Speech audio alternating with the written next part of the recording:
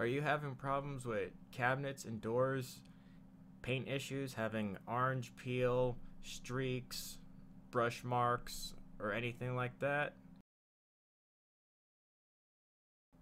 There are a couple different products to use to make sure your coatings go on properly and smooth as possible.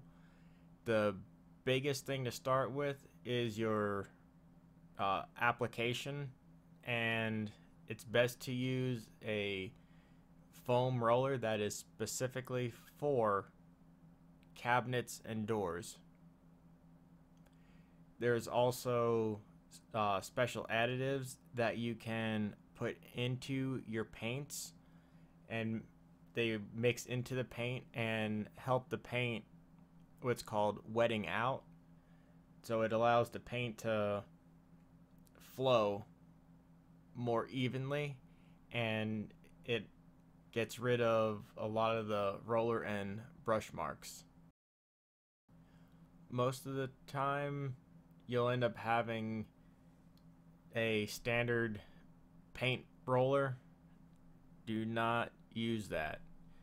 You have to use a foam roller or else you'll end up having major orange peel looking stuff going on as an example will be coming up shortly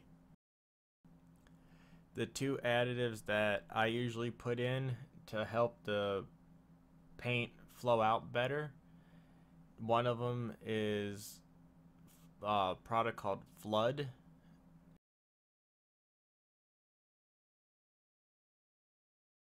And that can be Lowe's, Home Depot. You can find that. And the other one is Floetrol.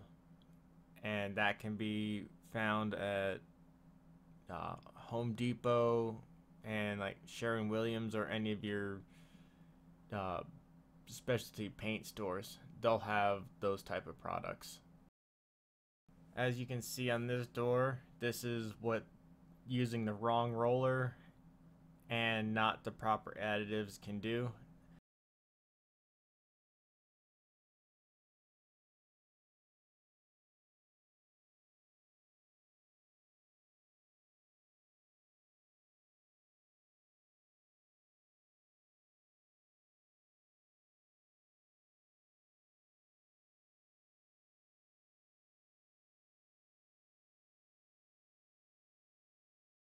This door is using the foam roller along with the additives in the proper amounts. It is they both have the same coatings. The number of coats that are on it are exactly the same.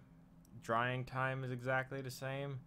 The only difference is the type of applicator that's used, which is that one is a roller, standard nap, and then the other one that looks all nice that one is going to be the one using the foam roller. And I, in this case I used the product flood as the additive. And you can see the big difference on that